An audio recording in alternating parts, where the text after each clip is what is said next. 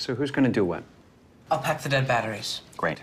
I'll only put what I don't need into a duffel bag. Perfect. That's totally unhelpful. No problem. Meanwhile, I will try to comfort everyone by speaking in a calm voice. And who is going to handle supplies? I can forget to do a list for us. Thanks, pal. We couldn't be any less prepared. I'm proud of you guys.